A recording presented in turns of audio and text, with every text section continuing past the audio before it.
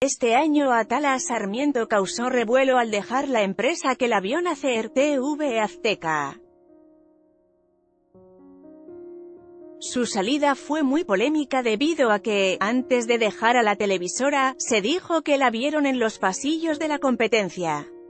Atala Sarmiento negó haber tenido alguna relación con Televisa mientras seguía en Ventaneando, sin embargo, la periodista Cintia Urías afirmó que ella vio a Sarmiento en las instalaciones de San Ángel. Atala Sarmiento sostuvo no tener nada que ver con Televisa, por lo que redes sociales tacharon a Cintia Urías de mentirosa, pero otros más le dieron el beneficio de la duda.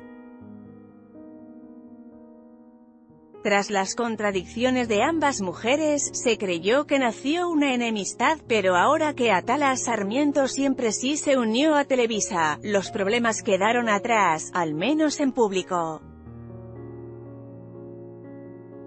Lo anterior, debido a que en una posada de la televisora, Atala Sarmiento y Cintia Uría se encontraron y hasta la foto del recuerdo se tomaron.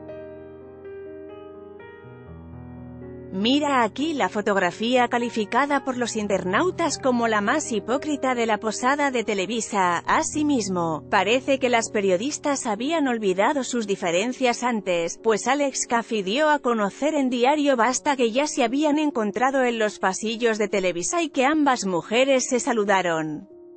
Si es que Cintia Urías dijo la verdad en su momento, no tiene por qué agachar la cabeza, pero quizá ambas estrellas del espectáculo olvidaron los dimes y diretes, pues ya son del mismo equipo.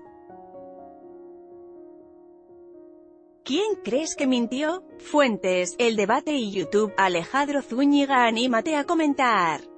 Queremos saber tu opinión. Comentarios Powered by Facebook Comments.